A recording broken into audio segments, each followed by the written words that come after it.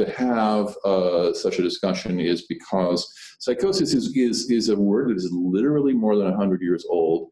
Um, and it's commonly used. It's, it's kind of taken a life of its own in the culture.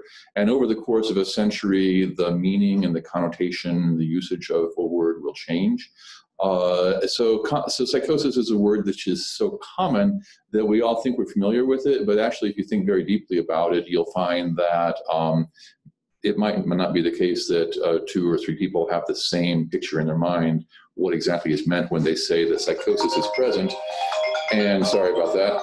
And uh, secondly, um, if you if you if you scan or uh, scour the DSM for a standardized operational definition of psychosis, and you find one, please send me an email uh, and tell me what page it's on because I can't I can't find it. And as far as I've you know my studies of DSM, it's always been like mentioned as a thing, but never formally defined in the way that they have defined schizophrenia itself or delirium or manic episodes or major depressive episodes or obsessions or you know all, all, these commonly used terms have operational definitions in the dsm but to my knowledge psychosis is uh, surprisingly absent in terms of um, getting such treatment and finally i think it's worthwhile to talk about psychosis and understand psychosis because many of our patients as you know will be suffering from symptoms of psychosis and i think it can be challenging uh, to explain to an affected person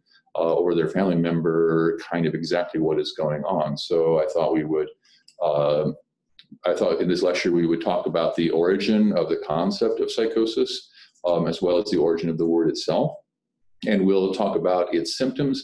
And I would like to very briefly um, try to give you some theories of causation that are more than just it's a neurochemical imbalance. I actually really hope to explain to you in this lecture um, how neurochemical aberrations can translate into subjective experience and behavioral changes.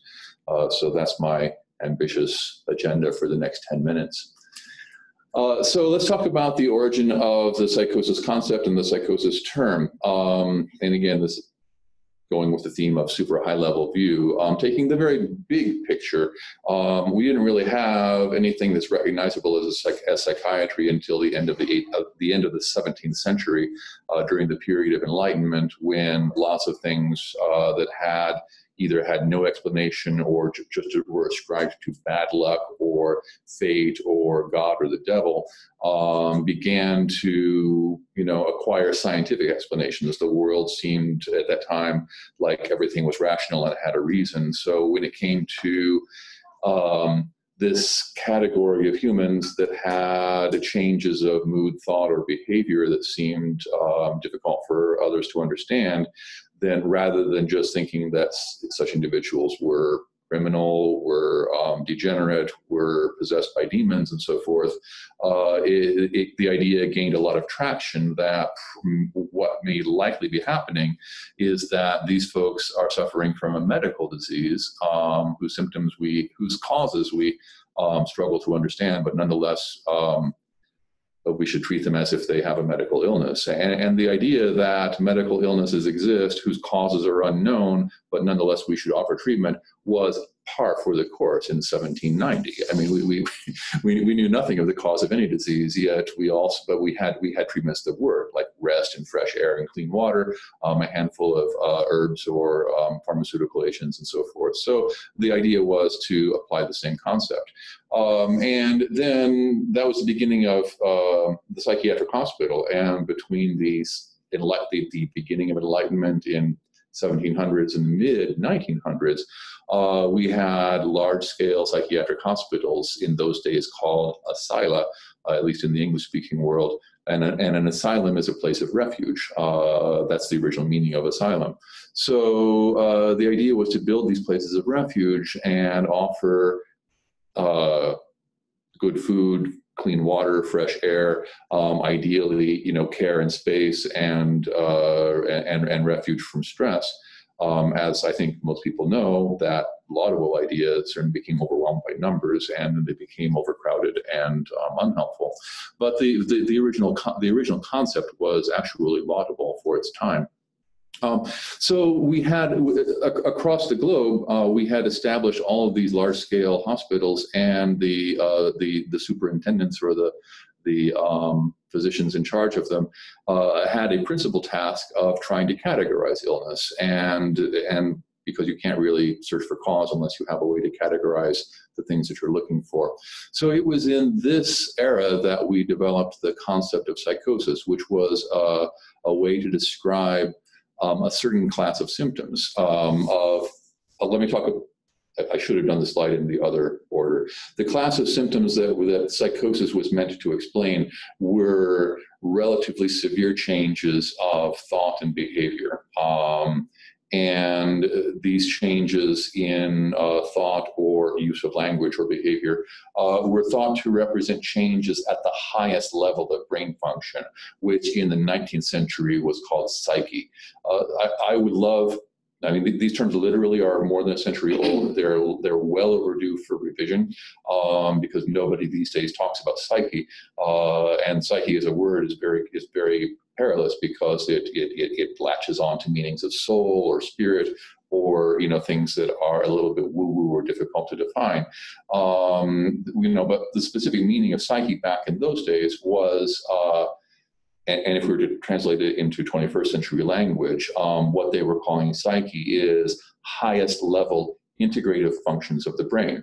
So take sensory experience from the external world or for the, from within the body, um, recognize what's happening, bring that into the sphere of self-awareness, uh, link it with memories, with association with other things, with some ability to have predictions of present information, uh, to use present information to predict certain events in the near-term future.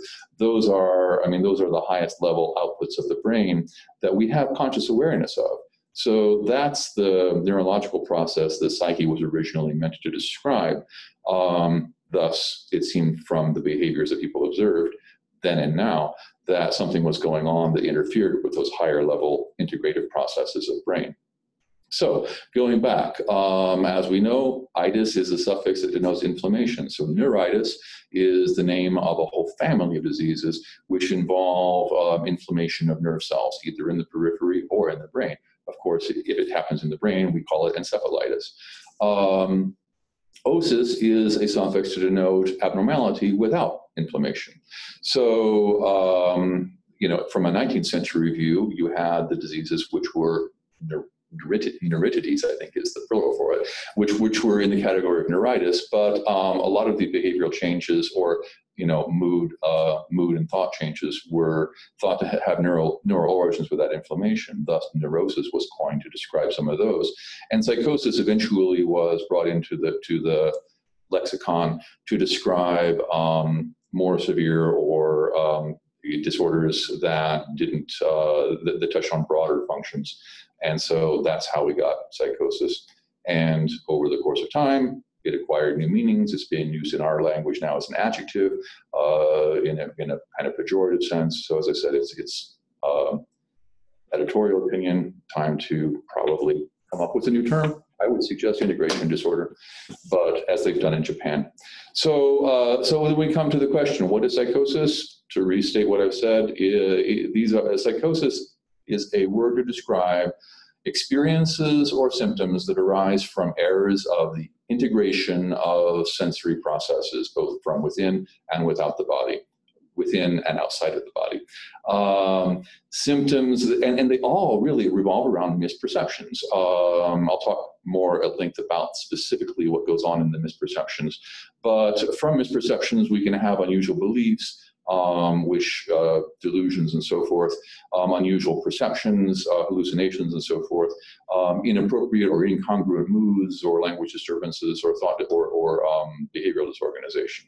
So um, we also know from, uh, there's no shortage of um, imaging studies um, that say that brain regions, which not surprisingly are primarily involved in sensory integration, uh, specifically temporal cortex, frontal cortex, and cingulate cortex, um, are the areas that are prominently um, affected or represent the you know the, the pathway of disruption.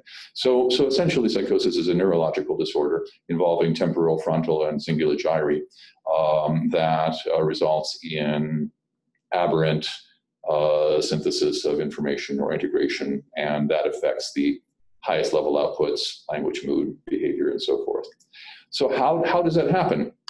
Um, we'll talk in future lectures about dopamine. Um, I think as most people know, aberrations in dopamine signaling are um, sit at kind of the focal point of most of the dominant theories of schizophrenia causation.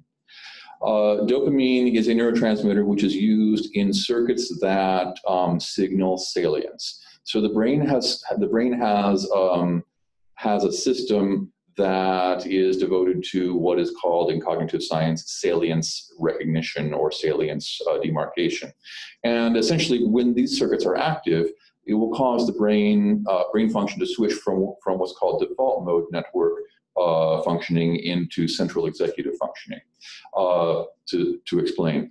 Um, if I'm doing nothing, my brain goes into what's called default mode network. There are certain regions of the brain which become more active when I'm idle. And uh, if scientists record what, I, what I'm thinking about during this time, daydreaming, reminiscing, putting like various ideas together. So I'm, I'm you know, we, we would call it internally preoccupied. Uh, but uh, if I move into central executive functioning, I am problem solving. Different regions of the brain become active in problem solving. I'm paying attention to my environment, either to a problem on a paper or to a problem in the room, and I'm trying to use memories and engage strategies and, and use executive functioning to solve it. So I switch from, if you will, idle idle rumination to active problem solving. And I'll do this when when this um, salient signal has been activated.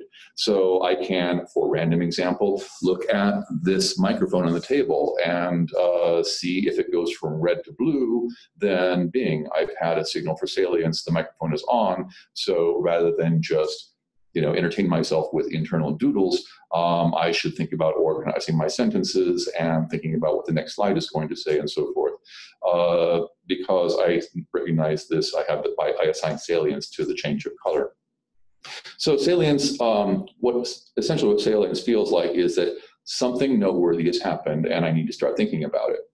Um, so if dopamine is prominently involved in salience circuitry, and if excessive dopamine signaling causes that circuit to fire at random or, or irrelevant times, then I have I begin to have unusual experiences. Um, so I have what is called in psychology literature aberrant salience.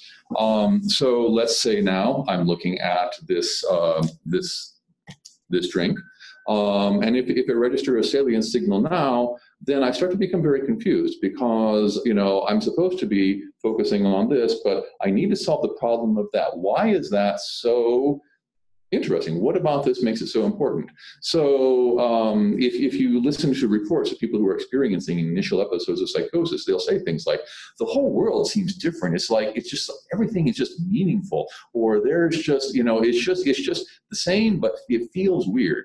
Um, and so that's, that's the, that's the fundamental default, the, the fundamental um, process in aberrant salience theory. Uh, from then, um, you know, my central executive part, the, the part of my brain that has to come up with reasons so that I can use it to predict the future or under or put this into an understanding of the past, um, I'll begin to construct a narrative around this. Um, this this may have a magical property, or there's something, or maybe maybe I've now been alerted to the fact that the that the color of this represents poison. Um, a lot of my again, our idea is we have to, our brain needs to protect us. So looking and scanning for danger is is priority number one. So if I'm, I'm if I'm attuned to that survival need, then I can recognize, I can begin to imagine that the special meaning I have about this is because this may be somehow dangerous. Um, and if I apply that to the expression on Sarah's face or to the blue light under the camera in front of me, uh, then I can construct a wider narrative that there is danger all around me. Uh, so that's how ever, aberrant salience very, very well explains um, all, manner of delusions. I could have an alternate interpretation, an optimistic one, that um, this this seems meaningful to me because this is divine. Uh, this has spiritual energy that I never knew it existed. And so, how exciting is that? That I've heard about all these things, and now I'm experiencing it. So I can I can then look at Sarah's expression or the light of the camera as new signs of um, enlightenment and then I can wind up with, uh, you know, with a religious delusion or a grandiose delusion. Um, I can feel exhilarated, and feelings of, you know, such such such delusions and exhilaration are also very common, especially early in the course of schizophrenia. Um, so then what happens if I start to have thoughts internally and, and I get salient signals from internal thoughts?